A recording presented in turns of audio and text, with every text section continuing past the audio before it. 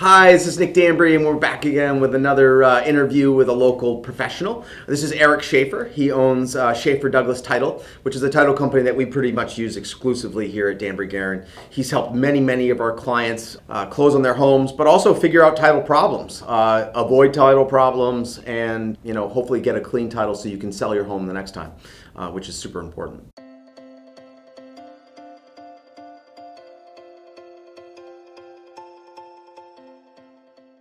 So, Eric, thank you very much for meeting with us. Thanks for having me, Nick. I appreciate Good it. to see you. Yeah.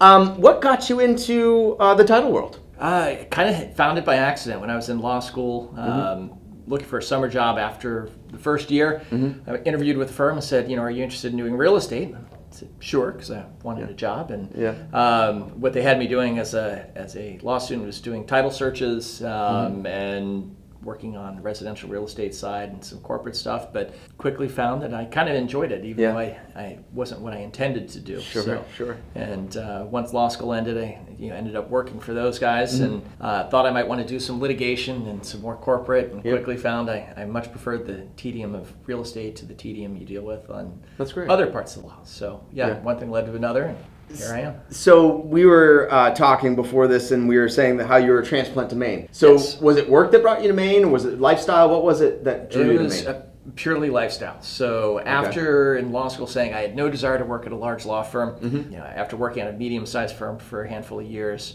the headhunter called and recruited me to a large firm, and I proved I was right the first time.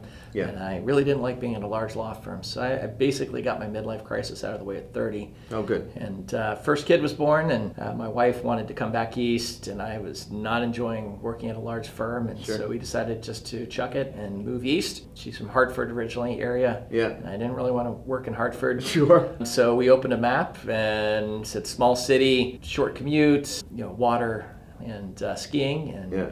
Said how about Portland? And we just decided to move. I really admire people that have that gumption, like that. That just you know what? I'm gonna go here because it's really a daunting thing. And you came with a Yeah. young one at the time. Yeah, he was eight months old when we moved here. You know, it was it was a little bit of a crazy move, but it was a kind of a calculated leap, which we've Sure. done a few different times. Yeah. You know, even I was working at a law firm when I got here, and they had a subsidiary title company, uh, but I was doing the billable stuff still. Mm-hmm. Yeah. Um, and an opportunity for a client who wanted his own title company came up, and I decided to leave the billable world and Sure. go completely in on the title side, which was you know a little daunting. You Mm-hmm. know, if it didn't work out, you know, do I go back to billables? But um, I realized I much more enjoyed working with people to buy a house. It was a much more pleasant and uh, productive piece. Everybody usually is trying to put things together. Right. Uh, the billable world is occasionally more contentious. So. Sure, sure. So now, um, your organization, you're you're obviously a title, you're an attorney, but you specialize in title attorney. Is that correct? Correct. Yeah. Yes. So, and you know, these days,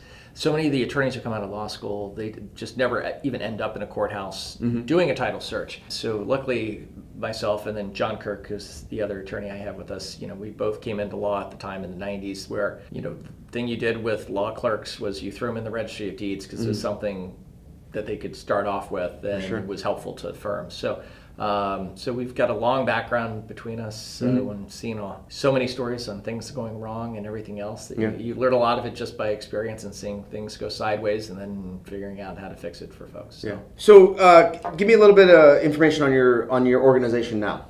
so Schaeffer Douglas Title has uh, three offices. Um, Mm-hmm. We have one in South Portland, um, one in Yarmouth, Mm-hmm. and also in Topsham. So covering that 295 95 corridor. Mm-hmm. Um, although we do closings throughout the state, uh, we will travel a lot. Um, So I was going to ask you, do, do, do you cover the whole state? I mean, you go to the county and stuff like that. Um, we've gone to the county occasionally, but Sure. it's usually not our main area. We primarily focus on uh, mid coast, west out to Sugarloaf, and south. Okay. Uh, we do a lot in the mountain region. We do a lot in the mid coast area. Yeah. But our primary core is in the greater Portland, Lewiston, Augusta kind of area. Sure. So, what are the top three things people should do when buying a home and dealing with your officer? So, what I'm hearing is title search, title insurance, and a mortgage inspection survey. Correct. Anything else that we're missing? You know, uh, the, the other stuff, the important stuff comes before they even show up at our door. That's working with a realtor who has the experience necessary to actually help them with the house. Mm-hmm. And if they're getting a loan, working with a loan officer who Sure.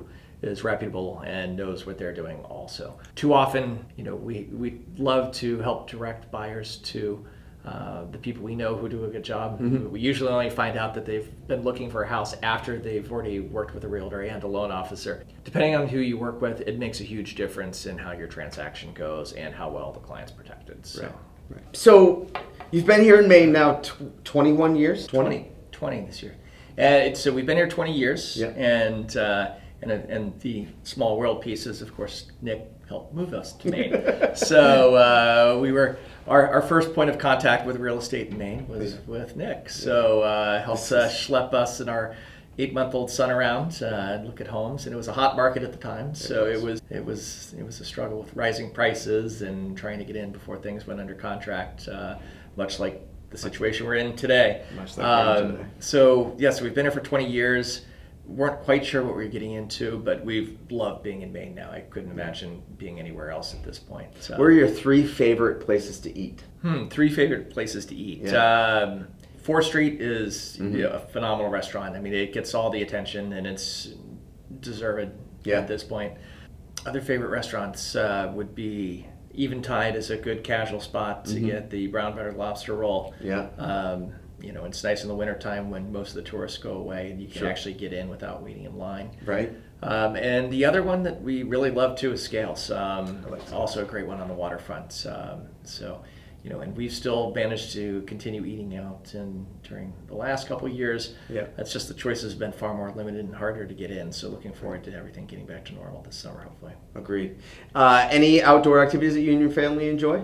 We love to ski and love to hike and enjoy the outdoors, especially when our kids were young. Yeah. Great, cheap, easy way to get out and enjoy Maine, you know, whether it's up to Wolf's Neck Park or all the other various parks and areas along the coast where you can just go out and see beautiful vistas or head into the interior towards the lakes region. There's some great hikes overlooking Sebago and other spots. Um, just a great way to get out and enjoy Maine. And uh, you know, part of the reason we moved up here was so that we could get more skiing in. I grew up in Ohio, and uh, the skiing there was minimal. Uh, I was out three days a week in high school at uh, our Yeah. nearest mountain. Uh, you know, rocking 300 vertical, uh, Yeah. doing lots of laps. And I tell my boys they're lucky to have Sugarloaf as their home base now. Uh, That's great. Been we started renting there when they were grade school, Yeah. and after a handful of years of renting, we pulled the trigger and now have a condominium up there. And so we try to go out most weekends, although with a high school senior, it's been tough to get up with uh, school obligations and stuff. But Yeah. uh, love to spend time up there. So, Eric, how can people get a hold of you? So our main line number is 207-775-0900. Our website is sdtitlemaine.com. Yeah. You can also email us at info at sdtitlemaine.com. Great. Well, thanks so much, Eric, for coming in. We really appreciate it. Uh, if you guys need any help title work wise, I cannot recommend these folks enough. Uh, Eric and John have been an email away and a phone call away for me for years um, and helped me work through a lot of problems and get a lot of properties closed and suc- successfully for our clients. So, if you want to come to Maine and uh, enjoy skiing and food and biking and hiking, uh, give us a call here at Dambrie Garon, 207 553 2400. If you want to get a hold of us at teamdambriegaron.com, that would be great.